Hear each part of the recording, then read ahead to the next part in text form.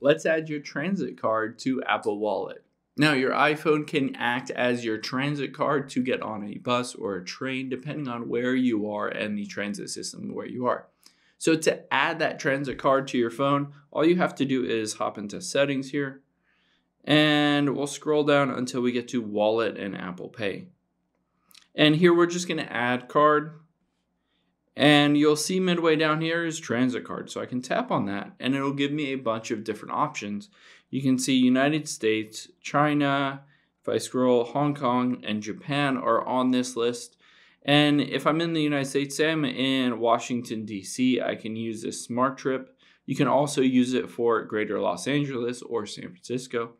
But let's just tap on one of these here and hit continue. Now, this will give you the ability to create a brand new card, and it says a $2 card fee applies, and you can choose, say, you want to add $50 to a new card. Or if you already have a card, all you have to do is hit this transfer existing card. And then you just enter in that card number, your date of birth, and your phone number, and it will transfer all of that balance from your physical card over to your iPhone's Apple Pay or wallet, and you'll be able to use it directly from your phone itself. Hope this helps. Thanks for your time today, and I'll see you on the next one.